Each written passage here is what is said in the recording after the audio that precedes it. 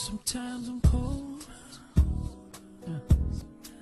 Sometimes I'm hot.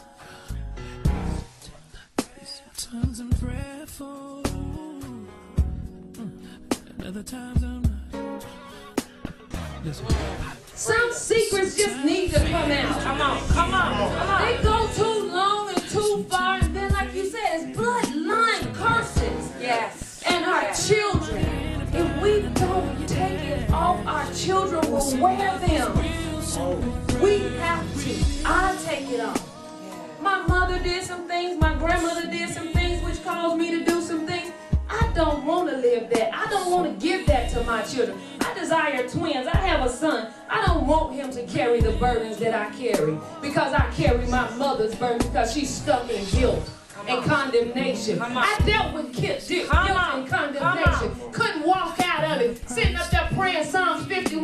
It was water to me. Come on, Lord, take away this blood guiltiness. Take away the stain. Create me a clean heart. Renew a right spirit. Why? Because I can't get past this blood guiltiness, this condemnation. I wanted to pull my skin off because it was so ugly to me.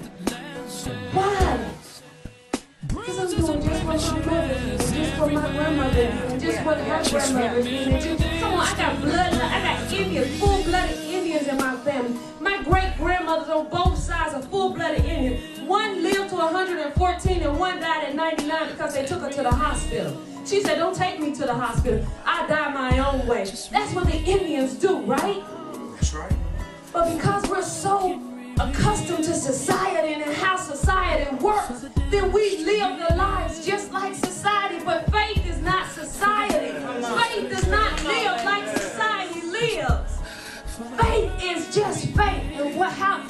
Jesus did not say increase my faith. He told the disciples, don't pray that you and increase your faith. He said, if you have but a grain of a mustard seed of faith, you can speak to this mountain and say, be thou removed and cast in the sea.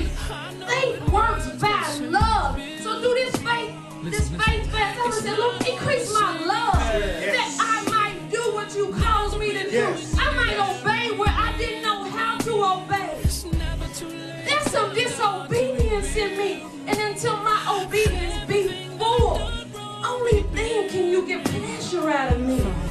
I can have a whole suitcase, an octillion, billion, whatever it is, bunches of faith. But if I don't have any love, I just got a suitcase or a storage room of faith that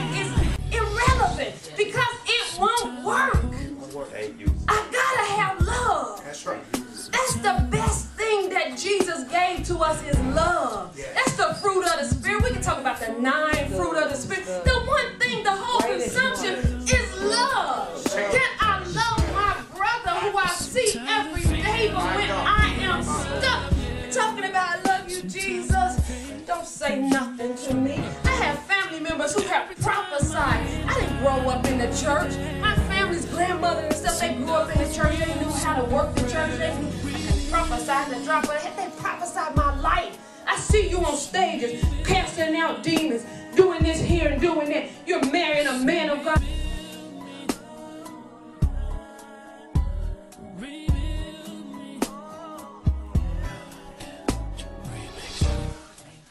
Gonna make mistakes and have a price to pay.